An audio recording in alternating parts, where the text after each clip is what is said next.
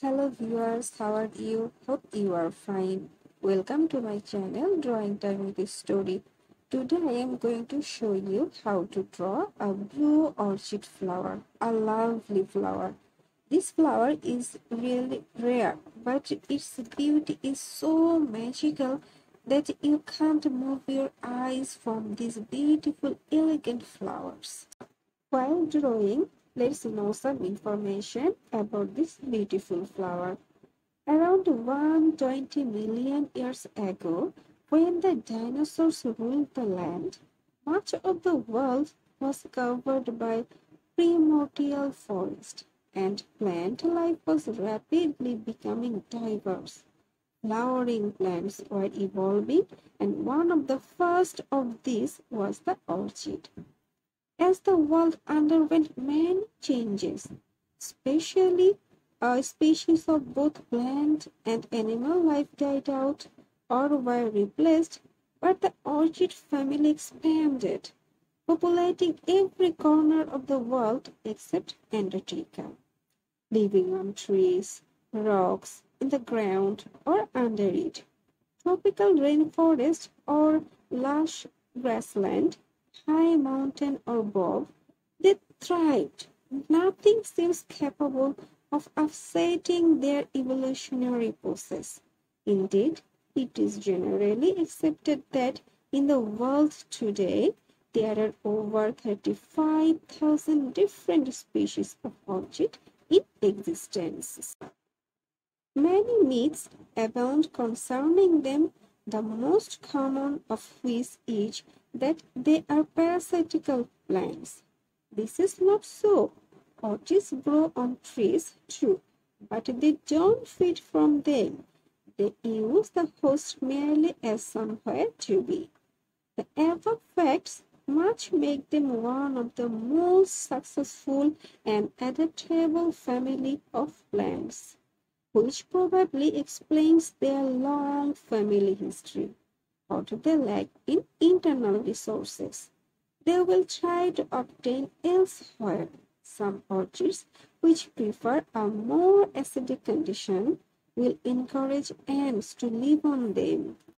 Even in some instances, creating suitable chambers for their guests to live in. Ah, how incredible is that, isn't it? And in addition to warding off their enemies, the ants increase the acidity of the plant through their own use of formic acid as a defense system. Orchids have known all about the birds and bees far longer than we have and use that knowledge to good advantage. When it comes to reproduction, orchids are extremely versatile but individually selective and have adapted themselves to use a variety of pollinators with or without their consent. Where many insects are concerned, the plant attracts them either by smell or mimicry, or in some instances, even a little still. It takes but little imagination to understand what the orchid on the left, or as more commonly known, the bee orchid is trying to mimic in order to attract the pollinator. The nature is so amazing. It's full of incredible things. I didn't know the information. Uh, I hope uh, some of my viewers can know the information, but it's amazing.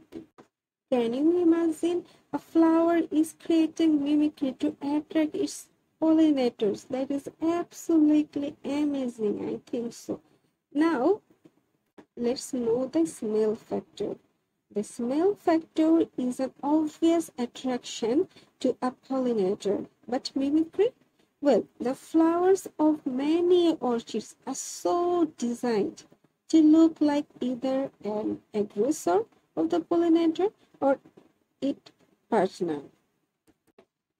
In the case of the bee orchid illustrated, male bees are attracted to the plants because the flower looks like a receptive female And during a frustrating attempt at mating with a flower, the male bee will become the unwitting carrier of pollen. That's absolutely amazing.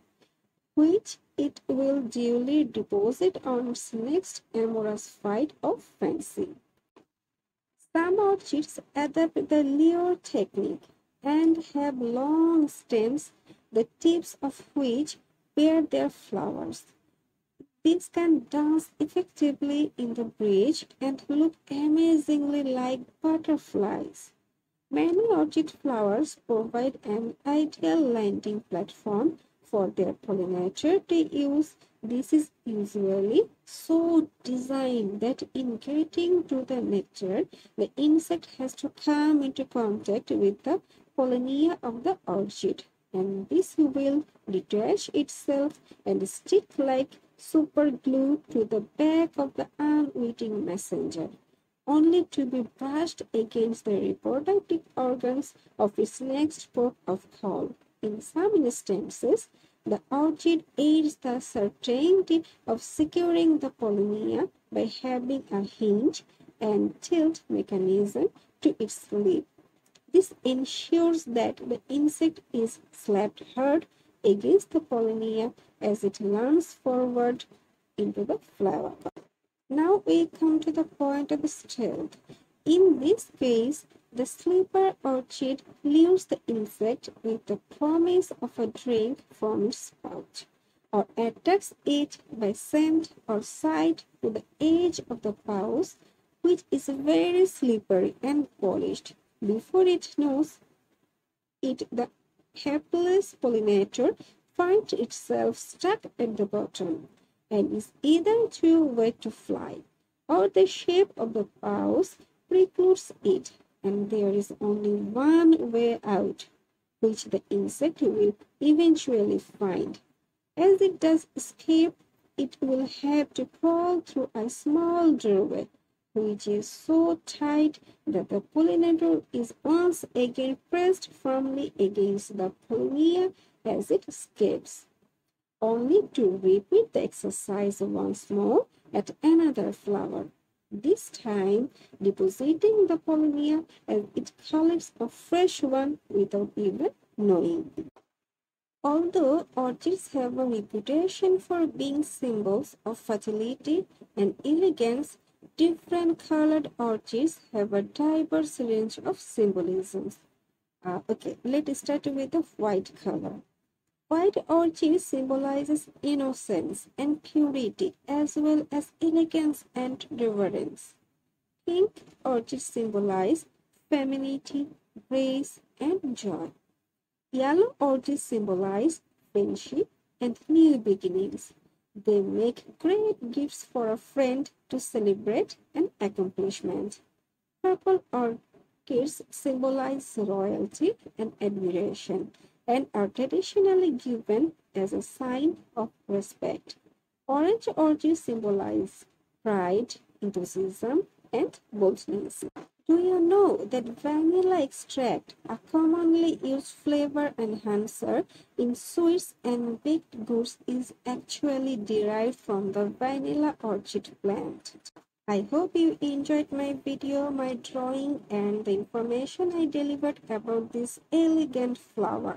Please at first see my videos and then uh, press the subscription button to stay connected with me. Stay